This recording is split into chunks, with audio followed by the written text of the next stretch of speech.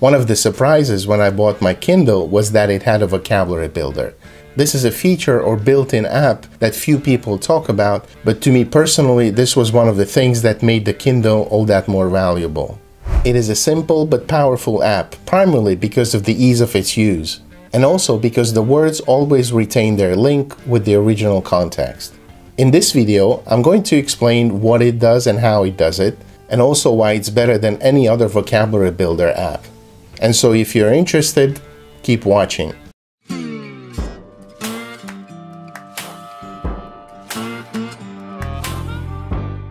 So when I bought my Kindle, I had no idea about this feature simply because I had not heard anybody talk about it.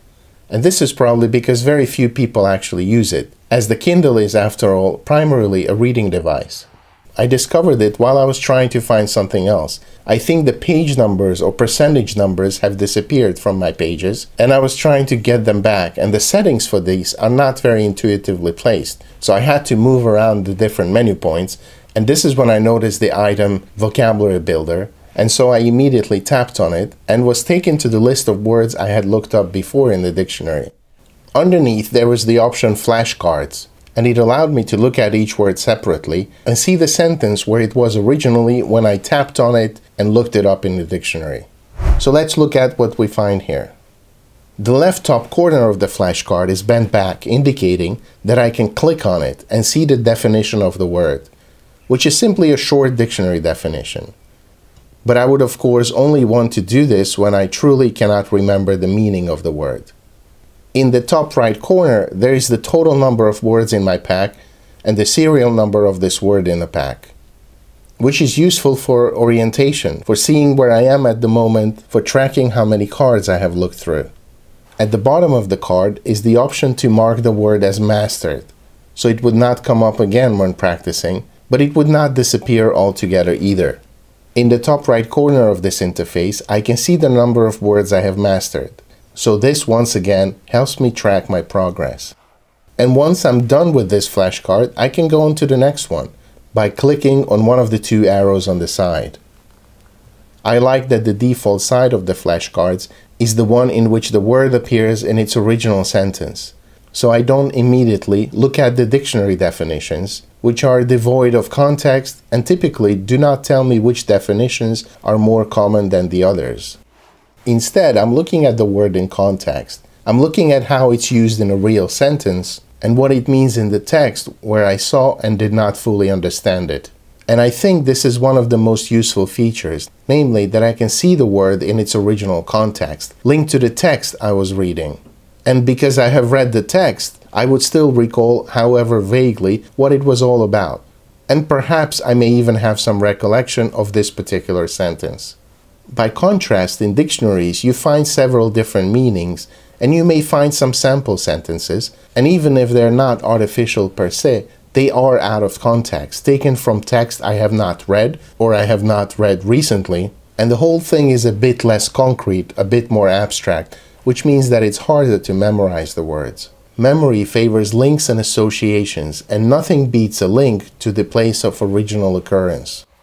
I honestly believe that when learning vocabulary in any language, context is everything. And the closer I can remain to the original context, the better I will remember the words. So let's exit the flashcard here and go back to the original word list. The flashcard is for exercise, whereas this card is for reviewing the word and organizing your stack. And so appropriately, you can delete the word and its file altogether, or mark it as mastered. The delete part is useful for words you have clicked on by accident, and so you don't need them here. Like I have here the words years or teaching because I have accidentally added them to the list either by tapping in the wrong place when trying to look up an adjacent word, or perhaps when trying to highlight something. Since I don't need these words here, I can just quickly delete them, or mark them as mastered directly from here without having to go back to the flashcard. Once you're done with the reviewing or exercises, you can just exit the whole vocabulary builder and return to the text that you're reading. And this is where the true magic of the Kindle vocabulary builder happens. Your stack of flashcards is built automatically as you look up words, so you don't even have to think about it. It collects the words for you in the background as you read and occasionally tap on words you don't understand and want to check their meaning. The ease of collecting difficult words in this manner cannot be overestimated because you don't actually have to do anything. The app literally stores away every single word you look up and adds it to the list. And this makes a major difference with other flashcard systems, whether it's Anki, Memrise, or anything else. Another major advantage of the Kindle Vocabulary Builder is that it only collects the words that you actually need. Because you typically would not click on a word that you know, even if it's a difficult word. You would not be interested in confirming your knowledge of it by looking it up and then going, oh, yep, that's what I thought. Instead, you only look up words you're unfamiliar with, and so your stack of flashcards only includes these words, minus the occasional mistakes, which you can simply delete. Whereas if you use, say, Memrise to improve your English vocabulary, you may choose a course like SAT Comprehensive, and you will see that there will always be quite a few words you already know. So typically, it would be a complete waste of time to keep exercising with these. It is also notoriously difficult to find a course or stack which is at the right level of difficulty for you. Because everybody's level of knowledge is different and it's impossible to cater to everyone. But with the Kindle Vocabulary Builder, you don't have this problem. You build your own stack out of the words you need without the words you don't need. But all in all, the most important advantage of the Kindle Vocabulary Builder is the ease with which it collects the words. Doing this manually on the computer or with a pen and a paper notebook is unsustainable because of its tediousness. It is not difficult, but tedious enough for you to require some willpower to continue going with the project. With the Kindle Vocabulary Builder, this problem is solved altogether because you don't need to do anything. The program collects the words for you automatically. In the past, I have been trying to record unfamiliar words in the course of my reading, but it never became a habit because it takes a bit of mental energy to find a notebook and find a pen or open up a computer file and then look up the word on Google or in a dictionary. But with the Kindle, I have been able to collect thousands of words, and since then I think I've learned several hundred of them. And I attribute all this to the ease with which words are collected for me. And finally, I want to mention something that would make the Kindle Vocabulary Builder even better.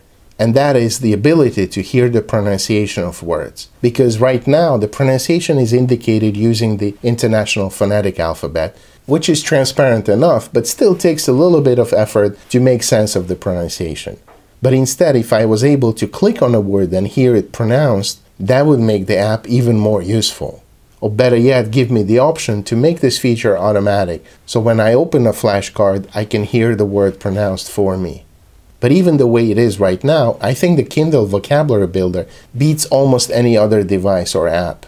It is a shame it's not being pushed into the foreground more and promoted as one of the selling points of the Kindle.